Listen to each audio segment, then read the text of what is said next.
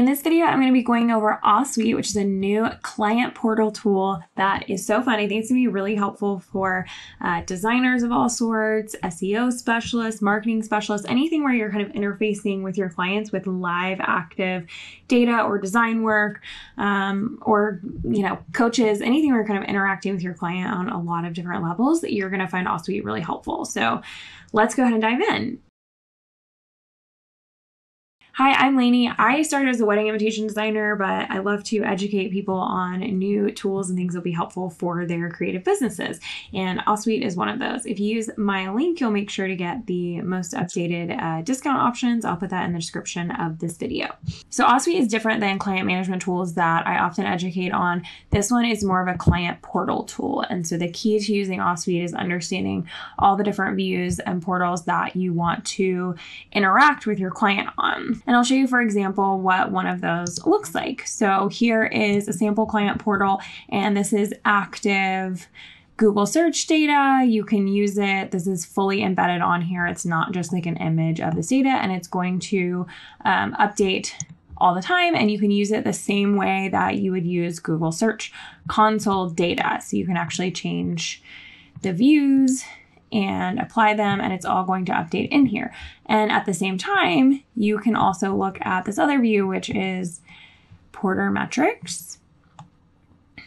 So this is going to be kind of basically your company, your company that you work with, um, your own individual profile and you can see the same thing. You can really interact with this as if you're just on that page. Both of these are kind of active dashboards. There's also like a Figma connection here. So when the client logs in, they can see all of the different designs that you created on Figma for them before and after. Um, there's some portfolios in here that you, they can click through.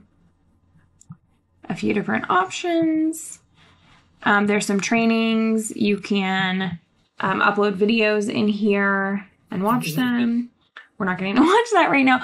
Uh, but there's a lot of things in here. So this is just one client portal, and you can see it has dashboards, design elements, videos, portfolios, trainings, all kind of things. And then this is just like a link. So if you think about all the different ways in which you can interact with your client, this can be really helpful because you can upload in here like all of their active dashboards they need to keep track of their work over time. You can upload any of their designs, you can put in a video for training purposes, etc. And all of this is customizable. So let me show you a little bit about how it works. So this is your dashboard over here, and you'll have your client information as well as your task information. You can assign tasks back and forth between different clients to yourself. Um, you can make notes on tasks. You can set due dates. You can set dependencies like this task needs this other task completed first, that kind of thing. Uh, but the magic is going to be in these views over here. So I'll click on my client, which I just made myself. And for each client, you can add whatever views you want. And just as some examples for views, this is um, our sample design space in Figma. And then if I were to go in here and let's change this font to this one then it's going to upload directly into this view for the client to see. So this is kind of a live view. And the way that we do that is by embedding it. So every time you add a view, we'll just put our second Figma view. You save that, and all you need is basically an embed code or URL. So when I go to share this, I just want to do an embed code, and anything that you can embed in here, you can add into a view. So super easy. We're just going to click there. And now that design space is here. You can see when it was edited. You can see who it's visible to. You can add um, text about like, hey, tell me what you think at the top. Here's some questions I want to ask you about this as an invitation designer. For instance, I might ask, you know, is this approved? Make sure you double check. Here's all the, you know, what do you think about this? Those kind of things. Um, and then I'll be able to give them the option of how I allow them to answer that, which is really helpful. So you can add the questions to interact with your clients. Um, anything with a halo on it is going to be viewable to your client. So make sure before you add something, um, you can also turn it into draft mode that it's ready for your clients to see. And then you can see what it's going to look like here. Another one that I use is Ashore. I sometimes use this for editing uh, proofs. And so this one actually didn't have an embed code. It just had a share link. And I was actually able to share this and it works exactly the same. So it's going to have all the different pieces that they need to proof over here. This is like the mock-up and then each individual piece has its own proof and they can just click right here to make a comment. Don't love this font, for instance. And they'll save that comment and I'll be able to see it. And this is perfectly workable within the views. And then they can go, you know, to their next pages. These are just envelopes, so they're they're not that exciting. Um, but I can say, love this, and then I'll be able to see that. So that's all through the Ashore app, but you can bring it into Ahsuite and use it um, within your client portal. A couple other things I have here. This is a testimonial form. It's just a Google form and totally usable right here. You can even submit this from this view. Um, and then I have this is just an image that I uploaded as a proof. So you can also upload an image. Um, I also use Loom, for instance. So something we can do when we share, you can just click embed and you'll get that embed code. You can add that easily as a view here as well.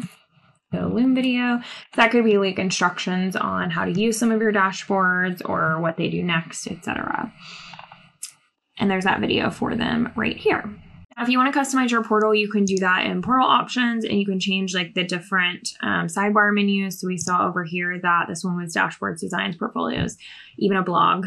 Um, so that's where you can kind of change that over here. And then the client can kind of create tasks based on the things that they uh, see in the portal. And they can also change the language as well. If you use this share link, you can actually create um, an auto login link so they won't need to log in to view the portal. Otherwise, they'll be able to see the portal when they log in. So, what that will look like for them.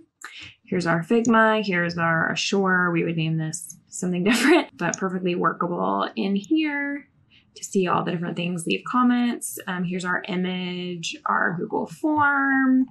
A couple other things they'll be able to see once they log in. Uh, conversations is any messages that they have back and forth with you. Requests are going to be um, if they assign you a task or something. Move my face out of the way. files, the client can actually upload files here, and you can also upload files, and they'll be able to see them in their portal as well. And then the password manager is pretty cool. So this is an encrypted section where if you're sharing passwords, this is really popular, like for website developers, things like that. If you're sharing passwords with someone, they'll be able to see all of that here. And it's fully encrypted. So it's safe for you to share your passwords as opposed to like emailing them back and forth or something. In your business settings, you can also allow your clients to add users and manage them as they want to. So they can add a contact here that would have access again to the portal. And that's kind of nice because you don't have to do that all the time. The client can actually do that themselves are going to be really helpful. And I mentioned there's a lot of options here. So let's um, name this just a new task and I'll show you some of those options. You can assign it to any client. You can set a specific due date. Um, you can say, hey, this is on hold right now. We're not done with this. We canceled this. And then the dependency is just going to rely on other tasks. So you have to fill out the form before you do new task or vice versa.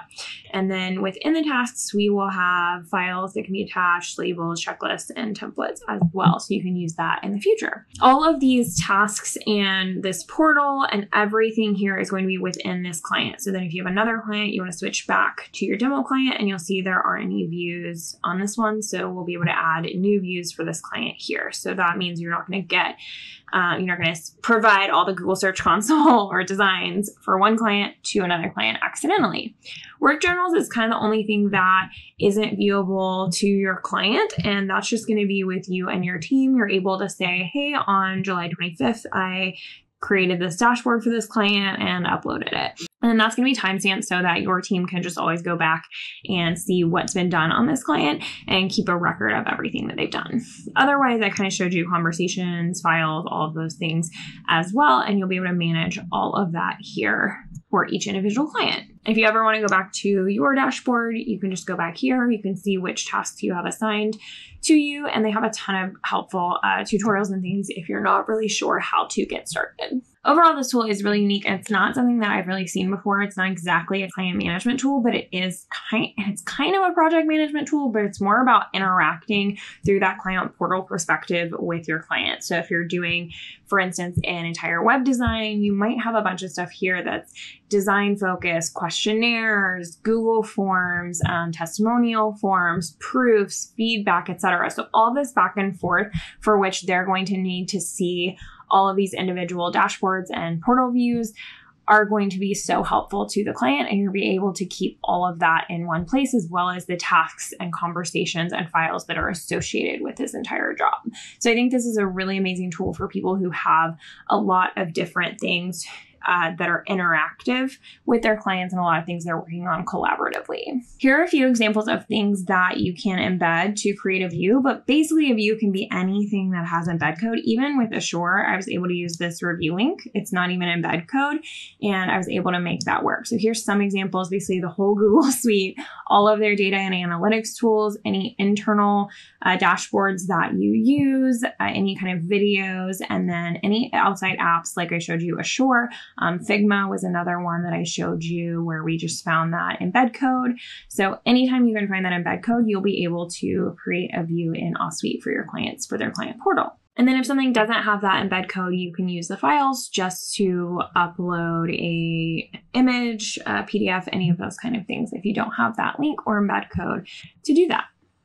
And of course, I know you're going to ask me about the pricing. So here are the three main plans. It's free for up to three clients if you want to try it out. I love that because you don't have a time limit on there and you can test it out and make sure that you understand and see how helpful it is with your clients. Definitely use my link if you're going to sign up and you enjoyed this video. The professional option is $24 a month and the agency option, which is going to kind of white label everything and just give you more clients, more sub accounts, etc., um, is $57 a month. And with the pro or agency options, you have the ability to search a database of other users to see if there's anyone that you need for your projects. So, for instance, if you need an SEO specialist, you can search other users of Ahsuite and find them there. And you can also make yourself searchable if you want. So, you might get some additional work that way if other people find your skills to be valuable and something that they need on their team.